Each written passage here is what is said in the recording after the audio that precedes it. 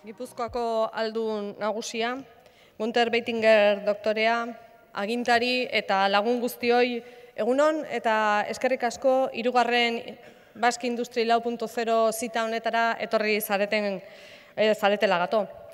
Argi dago 4.0 industriak interesa handia piztu duela Euskadin eta estrategia honek guztien artean egin beharreko zerbait adierazten digu. Guztion artean egin beharreko ibilbide bat da.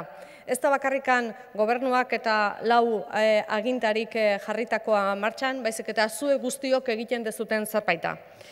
Horretarako, industriaren ikuspegitik, nondik gatozen, nora joan nahi dugun, eta gure industria non kokatu nahi dugun zehaztu beharra dago.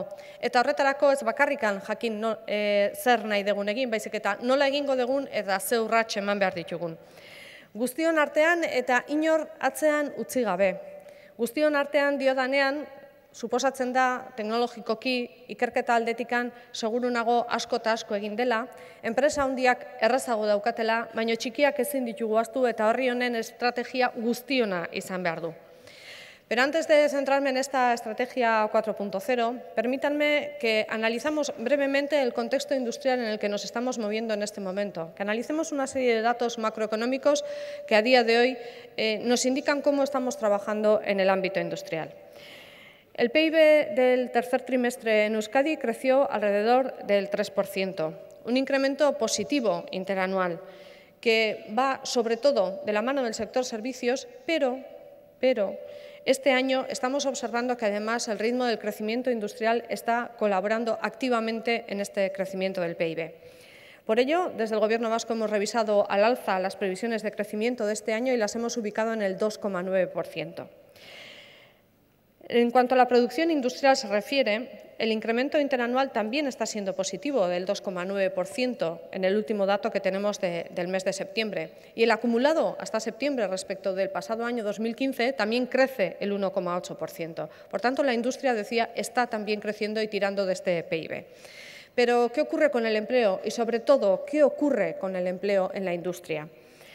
Tenemos que señalar que la pérdida de empleo a lo largo de esta crisis ha sido más profunda que lo que ha sido el propio decrecimiento económico. Y estamos observando que como consecuencia de ello nos está costando mucho, está siendo realmente difícil recuperar ese empleo industrial. Está siendo complejo, pero en todo caso tenemos que decir que a día de hoy se va confirmando esa recuperación y que desde el punto de vista de número de personas afiliadas a la seguridad eh, social, el crecimiento está siendo constante en los últimos dos años y que además y esto desde luego es importante para todo el sector industrial, en el tercer trimestre del año 2016, quien estaba tirando esas afiliaciones a la seguridad social, quienes estaba incrementando, era precisamente el sector industrial.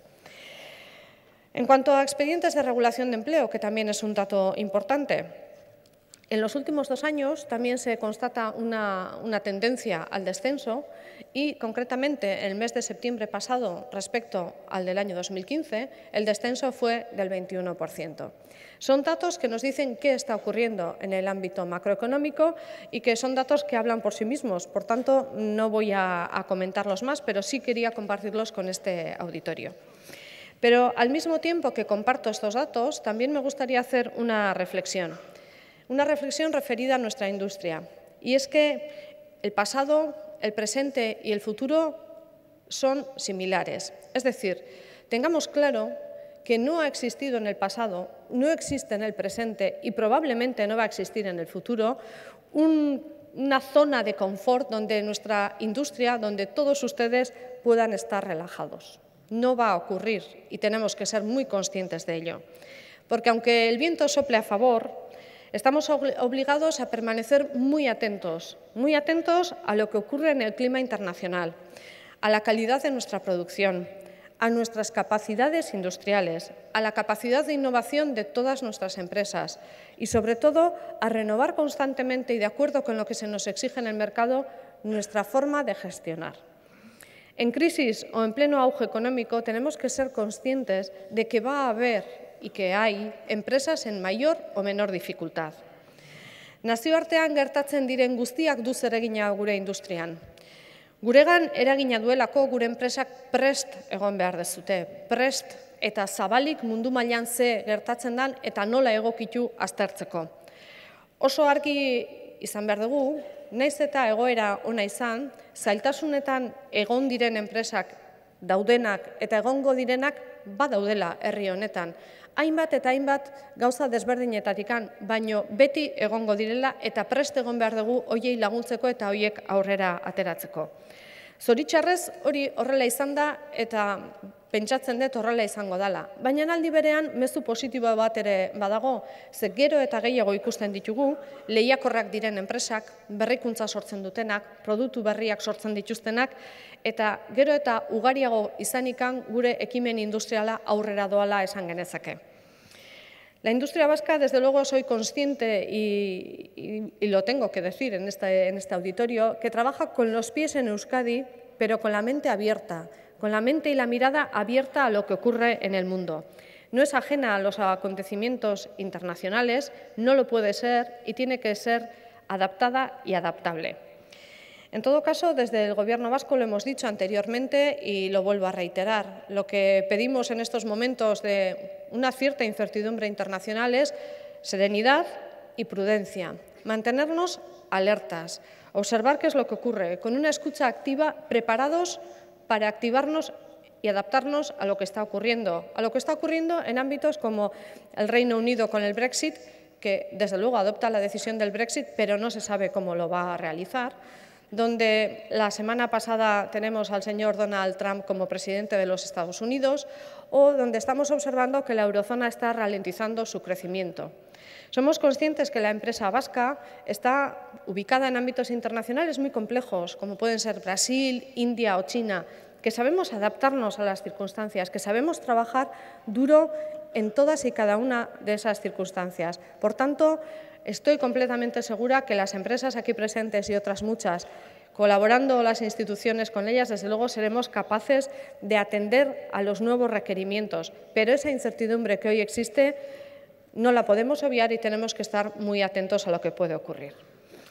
Saben ustedes que, además, en Euskadi nos encontramos en estos momentos en pleno proceso de transición, de transición. Formo parte de un gobierno que hoy todavía está en funciones, pero al margen de quién vaya a ser él o la responsable de las políticas industriales a partir de la próxima semana, espero, podemos decir que la estrategia Basque Industry 4.0 no tiene vuelta atrás. Podrá modularse en algunos aspectos, pero la industria 4.0 ha llegado para quedarse. Ha llegado para hacer evolucionar nuestra industria, para hacer evolucionar nuestro tejido económico y ubicarnos en una mejor posición competitiva frente a otras industrias del mundo. Instituciones, asociaciones empresariales, agentes sociales, clústeres, agentes de la Red Vasca de Ciencia y Tecnología, todos trabajando de una manera conjunta, estamos inmersos en cómo mejorar la aplicación de esa estrategia, porque establecer una estrategia es relativamente sencillo, pero hay que llevarla a la práctica. El pasado año les hablaba de que habíamos puesto en marcha un grupo de pilotaje, es decir, un grupo que va a pilotar la puesta en marcha de esa estrategia con un plan de acción y demás. Y hoy me gustaría compartir con ustedes algunos de los resultados de, ese grupo, de cómo está trabajando y de cómo se está llevando a cabo eh, las actuaciones dentro del grupo. Señalar que, en primer lugar, el, grupo de pilotaje está constituido por una serie de instituciones públicas, sí, pero sobre todo pilotada por las empresas y los clústeres, donde las administraciones públicas somos colaboradores y ayudadores, pero que son ustedes, las empresas, quienes llevan el liderazgo de esta estrategia, el liderazgo de poner en marcha un plan ordenado y que sea compartido por todo el país. Por ello, se ha estructurado este, este, grupo de pilotaje en diversos grupos de trabajo.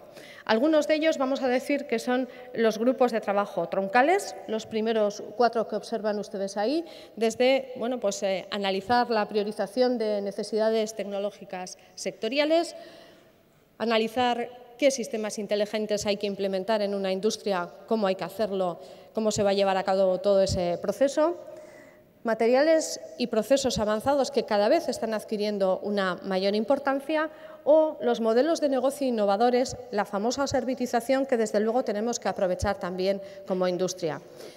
En quinto lugar, aparece un grupo de trabajo como eh, políticas o instrumentos de apoyo y se dedica sobre todo a lo que va a ser la formación, la formación necesaria para que todo esto sea una realidad en nuestro tejido económico acompañada de una serie de actuaciones de posicionamiento y de networking internacional que desde luego nos van a ayudar a ser considerados alguien en ese ámbito internacional. Solo somos muy pequeños, pero si colaboramos estamos seguros que vamos a poder avanzar.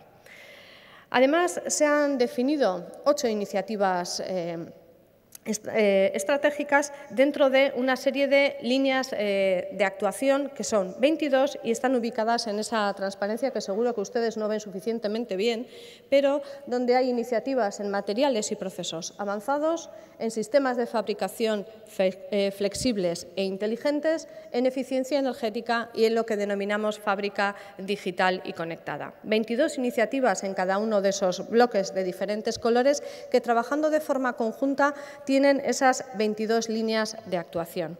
Y hablaba de que son, perdón, ocho iniciativas estratégicas, donde verán ustedes que hay diferentes colores, en función de que eh, denominamos iniciativas troncales más ligadas a lo que es la propia industria 4.0 y donde se encuentran pues, eh, lo que puede ser la, la, red conectada de activos que en este momento existen en Euskadi ligados a la fabricación avanzada, relacionados con la fabricación avanzada en multitud de centros, tanto tecnológicos como centros de educación, como determinadas empresas lo que es el Basque Open Industry Platform 4.0, que nos va a servir de apoyo para llevar a cabo todas las actuaciones necesarias, o los servicios avanzados 4.0, es decir, esos nuevos negocios que van a surgir como consecuencia de la implementación de estas estrategias. Junto con ellas, que son de color rosado, aparecen una serie de iniciativas más cercanas a la capacitación, que son de, de un color azul, donde aparecen las necesidades de introducir más ciencia, más tecnología en la educación secundaria, pero haciéndola suficientemente atractiva para que nuestros jóvenes sean atraídos hacia este ámbito tecnológico que cada vez va a necesitar más personas bien formadas. Y además hablar de capacitación inteligente. Además aparecen otras dos iniciativas que están en un color más, eh, más verde, y que se relacionan con, bueno, de alguna forma, eficiencia y sostenibilidad y que hablan de una economía circular y del aprovechamiento del calor dentro de los procesos productivos.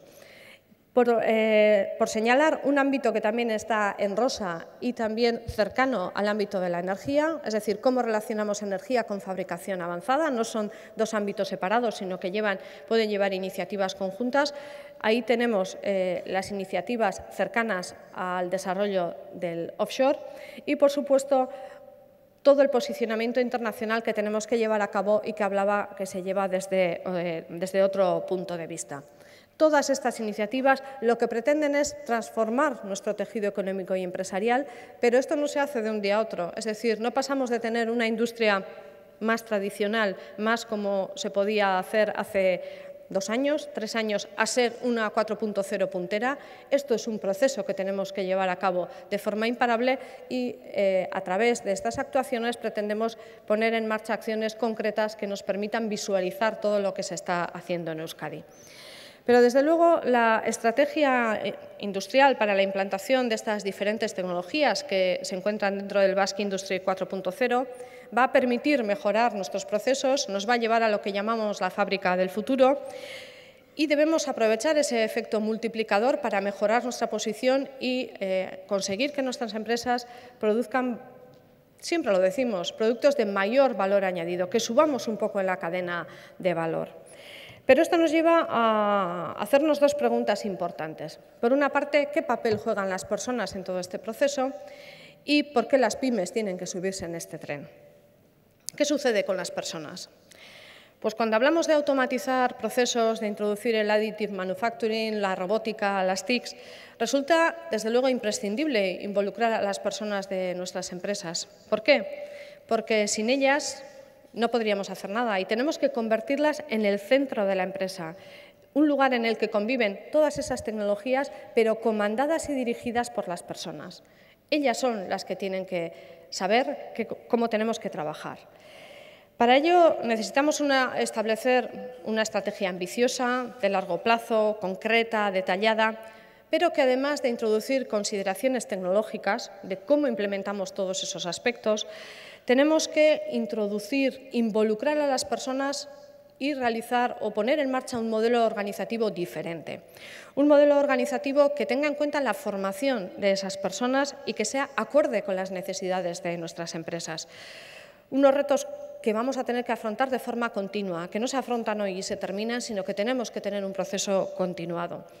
Y en el desarrollo de esa formación no solamente tenemos que atender a las necesidades tecnológicas, tenemos que atender a otras necesidades y a otra formación de carácter más transversal, es decir, la capacidad de liderazgo, de gestión de personas, de innovación, de flexibilidad, de, en definitiva, tener una cierta empatía, transparencia, conceptos que no son solo tecnológicos y que son imprescindibles para llevar a cabo esta cuarta revolución industrial. La, puesta en marcha de estas estrategias, decía, supone cambios, cambios tecnológicos y cambios organizacionales, que los tenemos que hacer sin poner en riesgo nuestras empresas, sí, pero de forma continuada y que esta revolución, la cuarta revolución industrial, sea silenciosa, pero imparable al mismo tiempo. Y en la segunda pregunta decíamos, ¿por qué las pymes se tienen que subir en este tren? Pues porque todas estas tecnologías de las que estábamos hablando suponen una mejora en la competitividad de las empresas, que no nos olvidemos que es lo más importante en este caso para poder sobrevivir.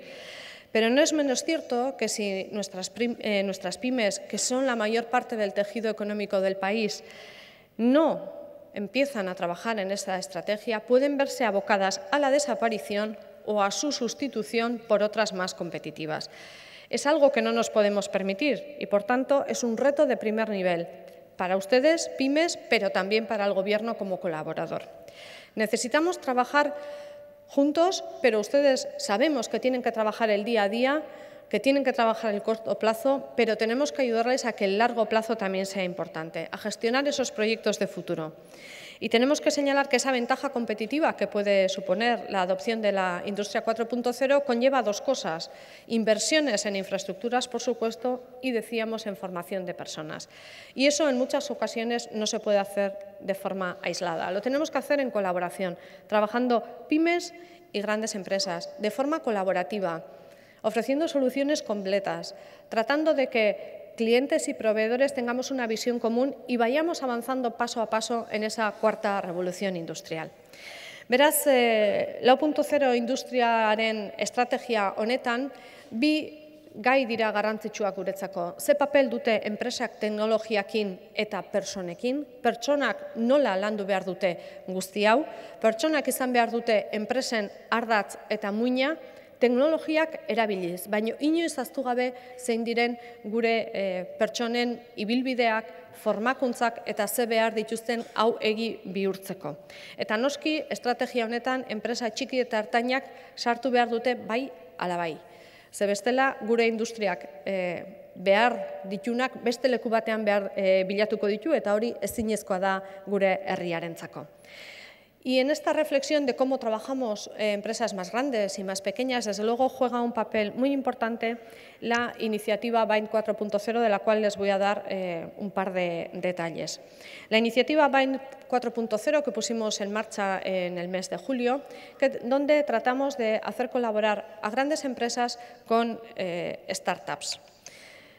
¿Con qué objetivo? Pues evidentemente con el objetivo de atraer el máximo de startups en el ámbito del 4.0 para hacer que nuestras empresas industriales sean capaces de absorber estas tecnologías de una forma más rápida.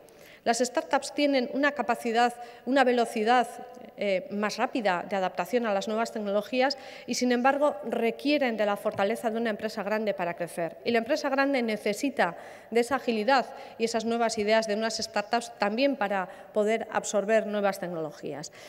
Con esos eh, objetivos pusimos en marcha esta estrategia con una serie de grandes empresas industriales ubicadas en Euskadi, de la mano de las tres diputaciones eh, forales, de los tres territorios históricos, junto con los BIC, es decir, aquellos centros de emprendizaje ubicados en los tres territorios.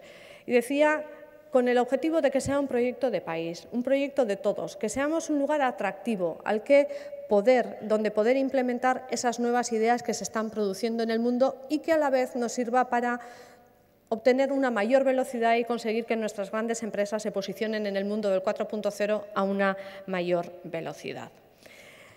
La apuesta en, este, en, esta primera convocatoria ha sido clara por parte de muchísimas empresas y ha habido 257 candidaturas que se han presentado de 41 países de todo el mundo. Por tanto, podemos decir que ha sido una iniciativa exitosa. Y de esas 257 propuestas se preseleccionaron 52, de las cuales 23 eran locales y otras 23 internacionales, el resto eran del Estado español. De estas 52 preseleccionadas, ha habido 13 startups seleccionadas para participar en el proyecto. Tienen ustedes ahí los nombres de las 13 startups que van a trabajar con otras 13 de las empresas participantes, 13 empresas de, de Euskadi de una dimensión vamos a decir que grande para lo que somos como país y como consecuencia de este matching, de este trabajo conjunto, lo que se han definido son concretamente 18 proyectos en diferentes eh, ámbitos del 4.0 algunas de las startups trabajan con más de una empresa grande y algunas de las empresas grandes trabajan con más de una startup, por eso son 13 y 13, pero son 18 proyectos en este momento. Realmente ello va a permitir que las startups, además de financiación, que es importante para ellas, tengan una referencia a la cual acudir en el caso de tener que continuar creciendo. Y además, nuestras grandes empresas son conocedoras de lo que se está haciendo en el ámbito internacional y también en Euskadi, que tenemos unas startups muy interesantes que seguro que van a ir ustedes viendo a lo largo del tiempo. Y finalmente, señalar que desde luego nuestra apuesta pasa por el desarrollo de un networking internacional, porque así como las pymes necesitan de las grandes empresas, Euskadi, país pequeño, también necesita ubicarse en el mundo y hemos tenido diferentes eh, actuaciones internacionales. El pasado año estuvimos en Suecia, lo venimos haciendo con, Alemania y ahí en la, en la, fotografía no es por ponerme yo, es porque está el señor, el doctor Beitinger, que posteriormente les dará a ustedes una conferencia y eh, pretendemos potenciar nuestra actuación internacional también con eventos como la Bienal de Máquina Herramienta que hemos tenido este año y donde se ha permitido ver qué es lo que se hace en Euskadi en el ámbito del 4.0 y en este momento eh, también les tengo que decir que desde el grupo de pilotaje se está trabajando nuestra presencia en la próxima feria que se va a celebrar en Hannover Messe en abril de 2017. Esperamos que de aquí a abril les podamos dar la noticia de que efectivamente estaremos allí presentes llevando a Euskadi también a una feria de esas características y no podemos hacerlo de otra manera. Txikiak izan arren, mundu mailan Europan hainbat gune industrialetan barkatuko diazu hitza baino muturra sartzea lortu dugu eta jarraitu behar dugu. Txikiak era eta bakarrikan ezin dugu egin. Gure potentzialidadeka handiena beti izan da besteekin lankidetzan aritzea eta bide horretatikan jarraitu behar dugu. Bidea irikia dago eta hori zuen eskutikan besterik ezin dugu egin. Enpresak beti esaten dut zeatela gure enbaixadorerik onenak eta jarraitu behar dugu. Zuek eta guk, enpresak eta instituzioak elkarrekin bide hau egiten. Beraz, animatzen zaituzte eta irugarren jardunaldia dau, baina bide honek ez duetenik eta aurrera egiten. Mila-mila esker zuen presentziagatik eta jardunaldi egokia izan dadila zuen guztientzako. Mila esker.